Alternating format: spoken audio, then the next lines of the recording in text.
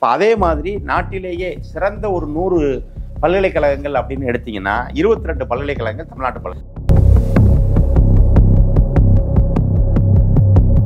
லட்சம் கோடிக்கு ஒரு பிரேக்கப் ஒரு பிஜேபி காரனை சொல்ல சொல்லுங்க. இந்த பணம் எதற்காக பயன்படுத்தப்பட்டிருக்கிறது? இந்த நூத்தி இருபது லட்சம் கோடி தமிழ்நாட்டு கொடுத்துருக்கீங்கல்ல. இந்த இந்த திட்டத்துக்கு கொடுத்துருக்கீங்க. இந்த திட்டத்துக்கு இவ்வளவு கோடி இந்த திட்டத்துக்கு இவ்வளவு கோடின்னு சொல்றதானே சரியா இருக்கும். அப்ப வெறும் பொய்யா புரியல. கண்டிப்பாக போய் தான் முதன் முதல் அரசியலாக்கினவர் வேல்முருகன் தான். நாங்க என்ன ஏடிஎம்மா? நீங்க கேட்கும்போது பணம் தர்றதுக்கு என்று முதல் முறையாக வெள்ள நிவாரணத்துக்காக கேட்கப்பட்ட நிதி கேட்கப்பட்டதை முதன் முதலில் கொச்சைப்படுத்தியவர் எல்முருகன். அவரோட அப்பா வீட்டு காசு நாங்க கேட்கல. எங்களுடைய வரிப்பணத்தில் இருக்க முறையான பகிர்வைத்தான் கேட்கிறோம் என்று உரிமை குரல் எழுப்பினார் அதை உடனே அரசியலாக்கி அதாவது எல்முருகன் பேசுனதே வெளியே வரல. உதயநிதி பேசியது தான் பெரிய தவறு மாதிரியும் இவர் இவருடைய தாத்தா இவருடைய பேரன் வந்து. அப்போ பத்து பேர்த்துக்கு முன்னாடி இவன் ஐயோ பத்து பேருக்கு முன்னாடி இவன் கேட்டானேனாவது அதை செய்யணும். இது இயல்பு மனித இயல்பு. ஆனால் இவர்களிடம் அதுவும் இருப்பதாக தெரியவில்லை. ஏன்னா இதற்கு வந்து பிரதமருடைய பேச்சில் பெரிய பதில் எதுவுமே இது சென்னை மெட்ரோக்கு பார்த்தீங்கன்னா மிகப்பெரிய வெட்கக்கேடு. இந்த இரண்டாயிரத்தி இருபத்தி மூணு இருபத்தி நாலாம் நிதியாண்டில் ஒரு ரூபாய் கூட ஒதுக்கப்படல. இதுவரை. இது வரைக்கும் என கேட்டா அந்த முதல் கட்ட பணி நிறைவாகி போயிட்டு இருக்குல்ல இன்னும் அதற்கான எந்த ஆணையோ இல்லை இவ்வளவு தொகை அளிக்கப்படும் என்கிற அறிவிப்போ இல்லை இந்த தொகையோ இன்றைக்கு வரைக்கும் வரல. வந்து போன பிறகும் வரலையா? நிர்மலா சீதாராமன் வந்து போன பிறகும் இன்னும் வரல.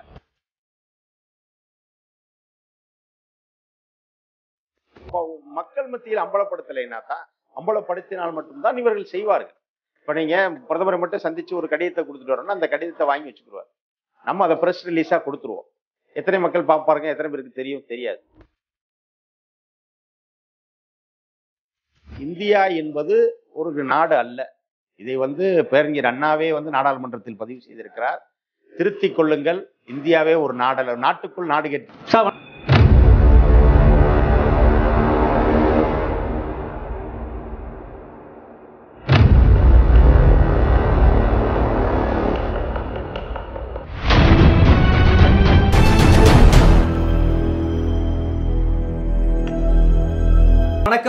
வணக்கம்.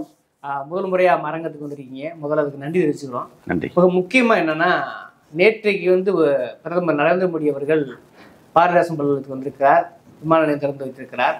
இதுல அந்த மேடையில சில சலசலப்பு ஏற்பட்டிருந்தது. முன் எப்பொழுதும் இல்லாத விட பாத்தீங்கன்னா ஸ்டாலின் பேசும்போது மோடி என்றும் மோடி பேசுகிற பொழுது ஸ்டாலின் என்று இந்த மாதிரியான ஒரு இந்த போக்கு என்பது சரியா? அது மட்டும் இல்லாம ஒரு விழாவில் வந்து பொன்மு அதாவது நரேந்திர மோடிகளுக்கு கோரிக்கை வைப்பது இந்த மாதிரி விழாக்களை பயன்படுத்தும் சரியா? அவர் முக்கியமாக சொல்றார் நமக்கான நிதிகள் எல்லாம் கிடைக்கவே இல்லை அப்படிங்கிறத ஒரு கோரிக்கை வைக்கிறார். அங்கே ஒரு சலசலப்பு ஏற்படுது. நேற்று முதல்வருடைய அந்த கோரிக்கை அதற்கு ரிப்ளை பண்ண மோடி இந்த நிகழ்வு சார்? அதாவது இன்னும் உங்கள் கேள்வியவே நான் ஒரு ரெண்டு பகுதியாக பார்க்குறேன். முதல் பகுதி நீங்கள் குறிப்பிட்ட அந்த ஒரு அரசியல் நாகரிகம். அதாவது ஒரு தலைவர் பேசும் பொழுது கூச்சல் எழுப்புவதோ குரல் எழுப்புவது அப்படிங்கிறது பார்த்தீங்கன்னா தமிழ்நாட்டினுடைய நடைமுறையில் தமிழக அரசியல் வரலாற்றில் என்றும் இல்லாத ஒரு விஷயம்தான்.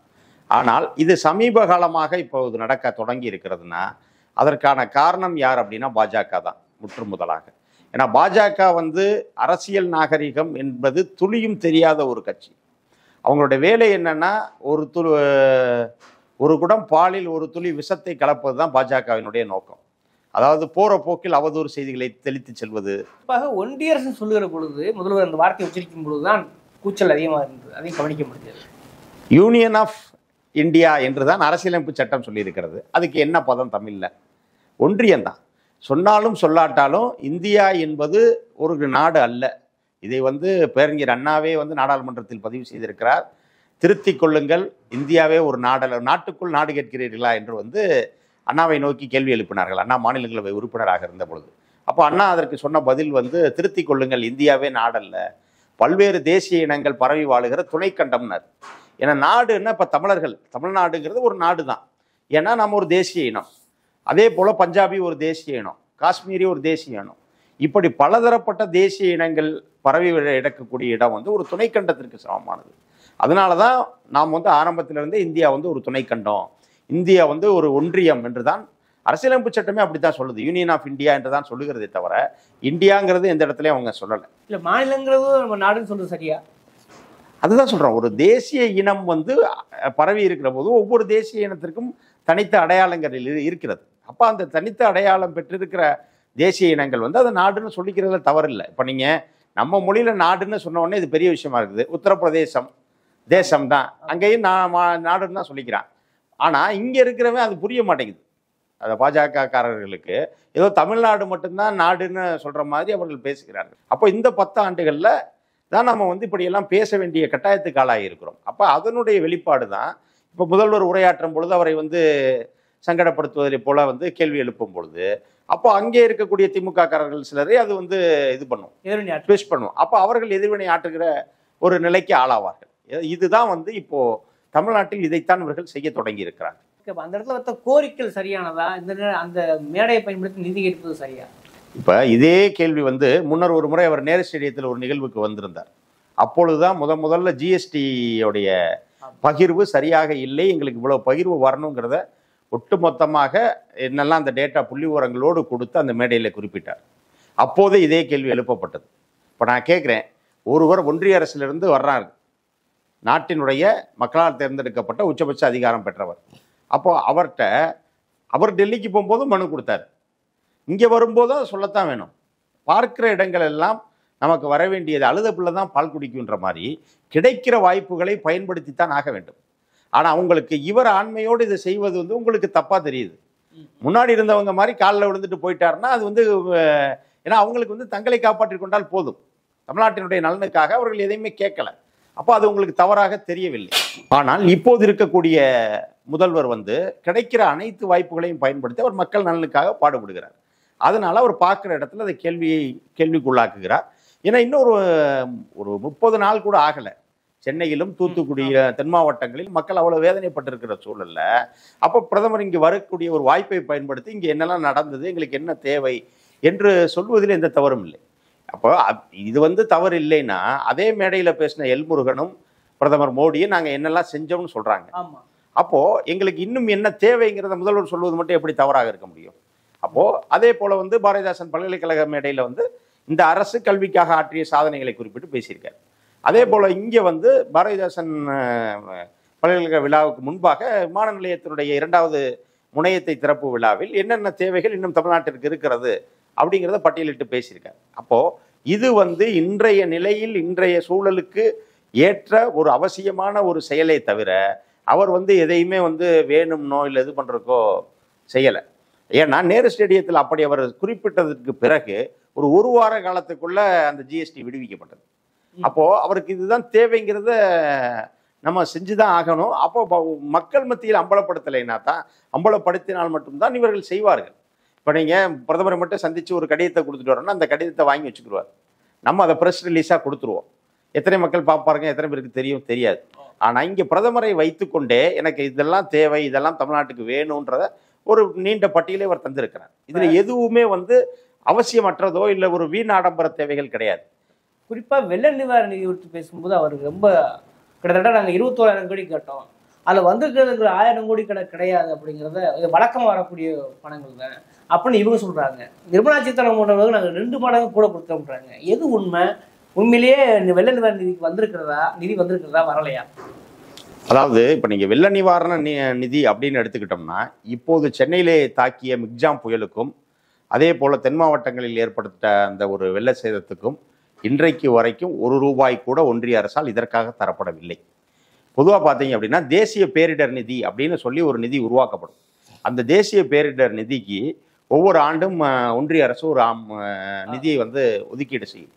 அந்த நிதியை வச்சு ஒவ்வொரு மாநிலங்களிலும் ஒரு ஆய்வு செய்வார்கள். இந்தந்த மாநிலத்தில் என்ன மாதிரியான இயற்கை சீற்றங்கள் வருவதற்கு வாய்ப்பு இருக்கிறது? முந்தைய ஆண்டுகளில் என்ன மாதிரி சீற்றங்கள் வந்திருக்கிறதுன்னு சொல்லி ஒரு ஒரு மாநிலத்துக்கும் ஒரு குறைந்தபட்ச தொகை ஒன்று நிர்ணயிப்பாங்க. இந்த தொகை வந்து பெரிய புயல் வராத சூழல்னாலும் இவர்களுக்கு அன்றாட தேவைகளுக்கு ஏற்பது ஏற்ற ஒரு ஒரு தொகையாக அப்படி தமிழ்நாட்டிற்கு ஒதுக்கப்பட்ட தொகை வந்து தொள்ளாயிரம் கோடி. இந்த தொள்ளாயிரம் கோடியை என்ன செய்கிறாங்கன்னா இரண்டு தவணைகளாக நானூற்றி ஐம்பது கோடி நானூற்றி ஐம்பது கோடின்னு விடுவிக்கிறாங்க. தேசிய பேரிடர் நிதியிலிருந்து தமிழ்நாடு அரசுக்கு வர வேண்டிய ஒரு சாதாரண தொகை. அதாவது நீங்க ஒரு உதாரணத்துக்கு வச்சுக்கலாம்னா இது வந்து மினிமமா இந்த அமௌண்ட் ஒவ்வொரு வருஷமும் எதுவுமே நடக்கலைனாலும் கொடுக்க வேண்டிய படம். அந்தந்த மாநிலத்துடைய அளவு அதை பொறுத்து இந்த தொகை. மாறுபடும். மற்றபடி சென்னை மிக்ஜாம் புயலுக்கு பிறகு ஒரு ஒன்றிய அரசின் சார்பாக உள்துறை அமைச்சர் ராஜ்நாத் சிங் வந்தார். வந்த பாதுகாப்புத்துறை அமைச்சர் ராஜ்நாத் சிங் வந்தார். வந்து அவர் ஏரியல் வியூவில் தான் ஹெலிகாப்டர் மூலமாக அந்த நான்கு மாவட்டங்களை பார்வையிட்டார். சென்னை செங்கல்பட்டு காஞ்சிபுரம் திருவள்ளூர் மாவட்டங்களை பார்வையிட்டு சென்றார். அதற்கு பிறகு எந்த பயனும் இல்லை. அது போக ஒரு குழு வந்தது. அந்த குழு வந்து தரைவழியாக பார்வையிட்டு இது பண்ணு தென் மாவட்டங்களுக்கு நிதியமைச்சர் நிர்மலா சீதாராமனே நேரடியாக வந்து பார்த்து விட்டு போயிருக்கிறார். இன்னும் அதற்கான எந்த ஆணையோ இல்லை இவ்வளவு தொகை அளிக்கப்படும் என்கிற அறிவிப்போ இல்லை இந்த தொகையோ இன்றைக்கு வரைக்கும் வரல. இப்ப வந்து போன பிறகும் வரலையா? நிர்மலா சீதாராமன் வந்து போன பிறகும் இன்னும் வரல. பேரிடர்னு அறிவிக்கவே முதல்ல தயங்கினாங்க. ஆமா. நேரடியாக வந்து போயிருக்காங்க. பேரிடர்னு அறிவித்திருக்கார்களா நிதி எதுவும் ஒரு துளி கூடவா அறிவிக்கவில்லை. இதுவரை ஒரு ஒரு ரூபாய் கூட அறிவிக்கப்படவில்லை. இதைத்தான் நேற்றைய தினம் முறையில் வந்து மு க ஸ்டாலின். ஆக இப்படி இருக்கிற சூழலில் பிரதமர் வருகிறார். இப்போது இன்னும் என்ன கேட்குறாங்கன்னா இதே சூழலில் டிசம்பர் பதிமூன்று இவர் அங்கே போகிறார் இந்தியா கூட்டணியுடைய விழாவிற்காக கூட்டத்திற்காக போகிறாரு கூட்டத்திற்கு போகும்போதும் இங்கே வந்து பத்தொன்பதாம் தேதி அது நடக்குது. இப்போ இங்கே தென் மாவட்டங்கள் ஏற்கனவே வெள்ள அபாயத்தில் சிக்கி சேதம் நிறையா இருக்குது அப்போ அங்கே போகாமல் இந்தியா கூட்டணி கூட்டத்திற்கு போகிறார் என்று சொல்லுகிறவர்கள் அவர் வந்து காலையில் பன்னிரெண்டு மணிக்கு பிரதமரை பேசுவதற்கு அப்பாயின்மெண்ட் முதல்ல தர்றாங்க. அப்போ இதை முடித்து விட்டு அவர் இந்தியா கூட்டணி கூட்டத்தை முடிச்சுட்டு அன்றைய தினம் வந்து நேரடியாக தூ- தூத்துக்குடி வருவது தான் திட்டம். ஆனால் என்ன செய்கிறாங்கன்னா உடனே அப்பாயின்மெண்ட்டை நைட்டு பத்தரைக்கு மாற்றுறாங்க அப்போது வேண்டுமென்றே வந்து அவர் தாமதப்படுத்தப்பட்டு வெயிட் பண்ண வச்சு அவருக்கு பத்தரைக்கு அப்பாயின்மெண்ட் கொடுக்குறாங்க. அப்போ இரவு பத்து முப்பதுக்கு சந்திப்பை முடிச்சுட்டு அவர் உடனே நேராக தூத்துக்குடி போக முடியாது. அப்போ அவர் சென்னைக்கு போயிட்டு அடுத்து தூத்துக்குடிக்கு வர்றார். ஆக இப்படி அவருக்கு ஒரு பேரிடர் காலத்தில் வந்து ஒரு முதல்வர் சந்தித்து பேசக்கூடிய அப்பாயின்மெண்ட்டே பத்து மணி நேரம் ஏன் டிலே பண்ணீங்க? அப்படிங்கிறதுக்கே இங்கே வந்து சரியான பதில் இல்லை. ஆனால் இப்படி இருக்கிற சூழல் அப்போ அவர் தமிழ்நாட்டுக்கு வருவதை பயன்படுத்தி ஆக வேண்டிய கட்டாயத்தில் தான் இந்த அரசு இருக்கிறது. அதற்காக அந்த மேடை பயன்படுத்தி அதனால அவர் அந்த மேடையில் வந்து இன்னும் என்னென்ன நமக்கு தேவை இருக்கு என்னெல்லாம் நாங்கள் செய்கிறோம் செஞ்சுருக்கோம். இப்போ குறிப்பாக வந்து பார்த்தீங்கன்னா இப்போ நேற்றைய வந்து திருச்சியில் இரண்டாவது விமான நிலையத்தினுடைய அந்த முனையம் வந்து திறக்கப்படுது. திருச்சி வந்து சென்னைக்கு அடுத்தபடியாக இரண்டாவது பெரிய பன்னாட்டு விமான நிலையம் தமிழ்நாட்டில். அப்போ அதற்கு இன்னும் கூடுதலாகவே நிலத்தை வந்து நாங்கள் பெற்றுத்தருகிறோம் அதை இன்னும் விரிவாக்கம் செய்யணும் அப்படின்னு சொல்லி கிட்டத்தட்ட பார்த்தீங்கன்னா முந்நூற்றி பதினெட்டு கோடி ரூபாய் செலவில் புதிதாக ஒரு இரநூத்தி தொண்ணூற்றி நாலு ஏக்கரில் நிலங்களை வந்து அரசு பெற்று தந்துக்கிட்டு இருக்கு தமிழக அரசு. பொதுவாக பார்த்தீங்கன்னா இப்போ விமான நிலையம் முற்றிலுமாக தேசிய நம்முடைய ஒன்றிய அரசினுடைய கட்டுப்பாட்டில் இருக்கு. ஆனால் நிலங்களை வந்து தமிழ்நாடு அரசு தான் தான் பெற்றுத்தரும் அதற்கான முதலீடு பார்த்தீங்கன்னா தமிழக மாநில அரசோட முதலீடு தான். அதே போல சென்னை கோயம்புத்தூர் தூத்துக்குடி வேலூர் மதுரை போன்ற ஒரு ஆறு விமான நிலையங்களுக்கு இதை நவீன ப மயமாக்கணும். இன்னும் கூடுதலாக விரிவாக்கம் செய்யணும்னு சொல்லி கிட்டத்தட்ட மூவாயிரத்தி நூற்றி பதினெட்டு கோடி ரூபாய் செலவில் வந்து இரநூத்தி ரெண்டாயிரத்தி முந்நூற்றி ரெண்டு ஏக்கர் நிலங்களை இப்போ கையகப்படுத்துவதற்கான நடவடிக்கைகளை எடுத்துக்கொண்டிருக்கிறது.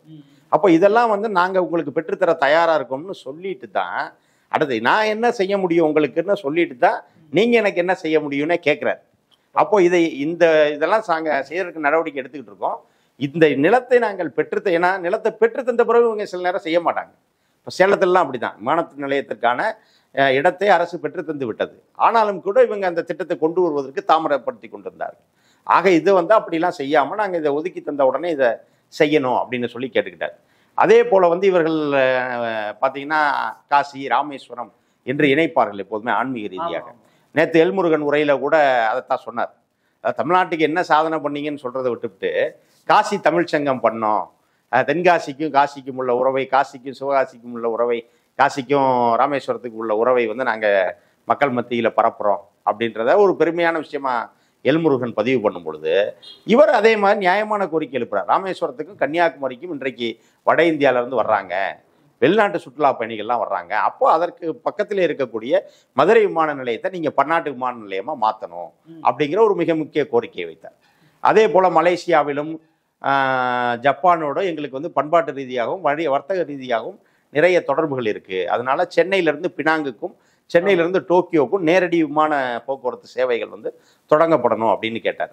அதே போல் பார்த்தீங்க அப்படின்னா வந்து இது சென்னை மெட்ரோக்கு பார்த்தீங்கன்னா மிகப்பெரிய வெட்கக்கேடு. இந்த ரெண்டாயிரத்தி இருபத்தி மூணு இருபத்தி நாலாம் நிதியாண்டில் ஒரு ரூபாய் கூட ஒதுக்கப்படலை. இது வரைக்கும் இது வரைக்கும் என கேட்டா அந்த முதல் கட்ட பணி நிறைவாகி போயிட்டு இருக்குல்ல அதனால அடுத்த விரிவ விரிவாக்க பணிக்கு எதுவும் இப்போதைக்கு அவசியம் இல்லைன்னு சொல்லி ஏ அப்போ முந்தைய ஆண்டினுடைய பணத்தை வச்சு தான் இப்போதைய பணிகள் போயிட்டு இருக்கு அப்போ இருபத்தி நாலு இருபத்தஞ்சு அடுத்து வருகிற நிதியாண்டில் பணத்தை ஒதுக்கலைன்னா சென்னையில் இருக்கக்கூடிய மெட்ரோ திட்டமே அடுத்து முடங்கக்கூடிய ஒரு சூழல் வரும். அடுத்த கட்ட பணிகள் எதுவுமே நடக்க முடியாத சூழல் வரும். முடங்குவது இயல்பானதா அல்லது முடக்கப்படுவதாக பாஜக எதுவும் அரசு செய்கிறதா?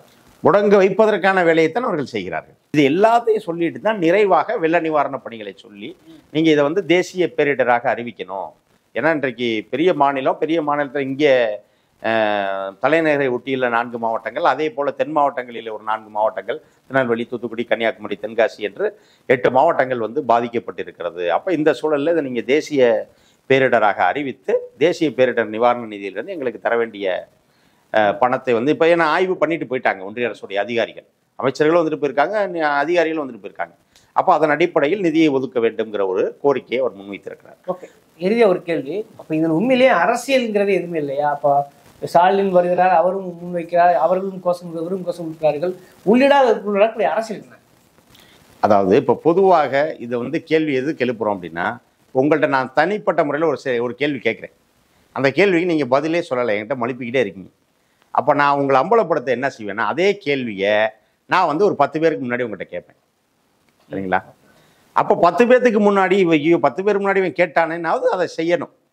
இது இயல்பு மனித இயல்பு. ஆனால் இவர்களிடம் அதுவும் இருப்பதாக தெரியவில்லை. ஏன்னா இதற்கு வந்து பிரதமருடைய பேச்சில் பெரிய பதில் எதுவுமே கிடையாது. அவர் என்ன பண்ணுறாருன்னா பொதுவாகத்தான் பேசிவிட்டு போறார்.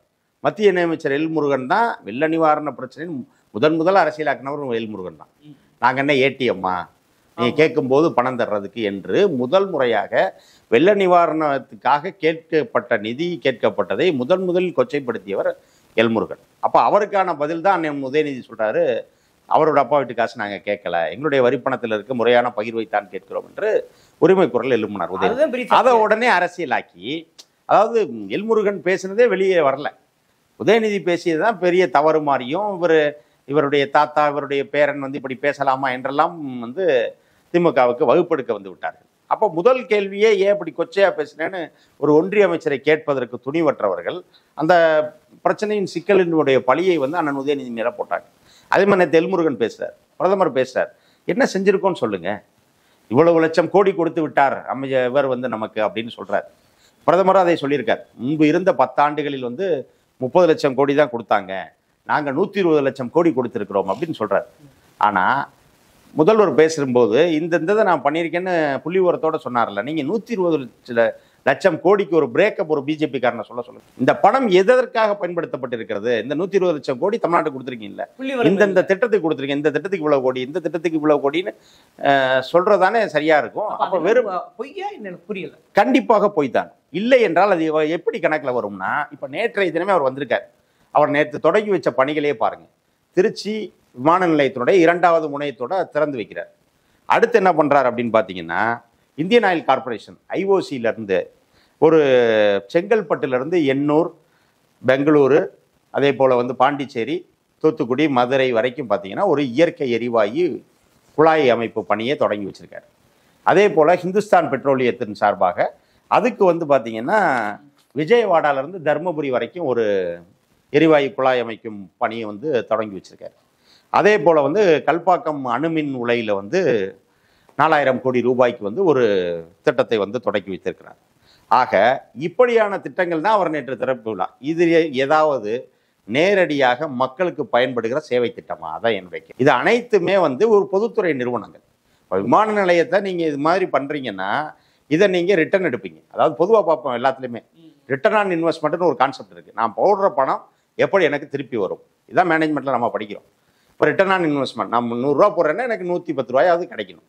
இப்படி ஆர்ஓஐ பார்த்து போடப்பட்டதான் நீ போட்டிருக்கீங்க காசு. இப்படியான திட்டங்களே தவிர இப்போ முதல்வர் சொன்னாரே நான் மக்களுக்கு இந்தந்த திட்டங்கள்லாம் பாரதிதாசன் பல்கலைக்கழகத்தில் ஆற்றிய உரையில் பெருமையோடு முதல்வர் பதிவு செய்கிறார் இன்றைக்கும் நூறு ஆண்டுகளாக இன்னார் தான் படிக்கணும்னு இருந்த நிலைமையை வந்து மாற்றி நாங்கள் நூறு ஆண்டுகளுக்கு முன்பாக எல்லாரும் படிக்கிற மாதிரி கொண்டு வந்தோம்.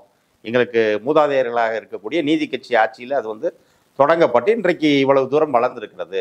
இன்றைக்கு வந்து ஒட்டுமொத்த இந்தியாவிலேயே பாலிடெக்னிக் மாணவர் சேர்க்கையில தமிழ்நாடு தான் அதிக முன்னிலையில் இருக்குது முதலிடத்தில் இருக்குது அதே போல் ஆராய்ச்சி மாணவர்கள் பிஹெச்டி படிக்கிறவங்கள தமிழ்நாட்டு தான் இன்றைக்கு முன்னிலையில் இருக்கு. அதாவது க என்ஐஆர்எஃப்னுவாங்க ரேங்க் ஆமாம் ரேங்கிங் ஃப்ரேம் ஒர்க்குன்னு அந்த என்ஐஆர்எஃப்ல அதிக நிறுவனங்க கல்வி நிறுவனங்கள் சிறந்த நிறுவனங்கள் இருக்கிற பட்டியலிடுவாங்க ஒவ்வொரு ஆண்டும்.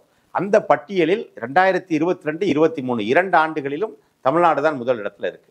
இப்போ அதே மாதிரி நாட்டிலேயே சிறந்த ஒரு நூறு பல்கலைக்கழகங்கள் அப்படின்னு எடுத்தீங்கன்னா இருபத்தி ரெண்டு பல்கலைக்கழகங்கள் தமிழ்நாட்டு பல்கலைக்கழகம். அதே மாதிரி கலை அறிவியல் கல்லூரியில் நாட்டிலேயே நூறு கல்லூரிகள் அந்த என்ஐஆர்எஃப் பட்டியலிட்டு இருக்கிறது அதில் பார்த்தீங்கன்னா முப்பத்தஞ்சு வந்து தமிழ்நாட்டை சேர்ந்தது. அதே போல் பொறியியல் கல்லூரிகள் வந்து பதினைந்து கல்லூரிகள் தமிழ்நாட்டை இப்படியே புள்ளி விவரங்களை கொடுத்துக்கிட்டே போகலாம் அதே போல் ரெண்டாயிரத்தி இருபத்தொன்று இருபத்தி ரெண்டு இவர் வந்ததுலேருந்து இருபத்தி ரெண்டு இருபத்தி மூணு இருபத்தி மூன்று இருபத்தி நாலு. இந்த மூன்று ஆண்டுகளிலும் அந்த ஏழு புள்ளி ஐந்து சதவீத இடஒதுக்கீடு அரசு பள்ளி மாணவர்களுக்கு கொடுக்கப்பட்டது. அவங்க தொழிற்கல்விக்கு போனாங்கன்னா அவங்களுடைய ஒட்டுமொத்த ஃபீஸ் அதாவது எல்லாமே வந்து அரசே கட்டும். அப்படி கட்டப்பட்ட பணம் வந்து இந்த மூன்று ஆண்டுகளில் நானூற்றி ஐம்பத்தி ரெண்டு கோடி ரூபாய். இப்படி மக்களுக்கு பயனடைகிற திட்டம் எதுக்காவது ஒன்றிய அரசு பணம் கொடுத்துருக்கிறதா? அப்படிங்கிறது தான் ஒரு மிகப்பெரிய கேள்வி. இந்த கேள்வியை வந்து நேற்று அவர் இதெல்லாம் செய்யுங்கன்னு எழுப்பியதோடு அதை வந்து கிளியராக எக்ஸ்பிளைனும் பண்ணார். அதாவது என்னென்னா கல்வி மருத்துவம் அடிப்படை தேவைகள். இதை செய்வதற்கு மாநில அரசு தான் அதிக பங்காற்றுகிறது. ஏன்னா இப்போ நீங்கள் இங்கே தான் இருக்கோம். அப்போ இங்கே இருப்பவர்களுக்கு இவங்க தான் செய்யணும். ஒன்றிய அரசு செய்ய முடியாது. அப்போ அதற்காக நீங்கள் நிதியை தர வேண்டும்ங்கிறத அவர் நேற்று கேட்ட கேள்வி. ஆனால் இங்கே மாநில அரசு செய்வதெல்லாம் மக்களுக்கான சேவை திட்டங்கள். இப்படி சேவை திட்டங்களுக்கு பணம் தாருங்கள். நிவா வெள்ள நிவாரணத்துக்கு பணம் தாருங்கள் என்பதைத்தான் அவர் ஒரு கேள்வியாக முன்வைத்திருக்கிறார். ஓகே நன்றி சார். வாய்ப்புக்கு நன்றி வணக்கம்.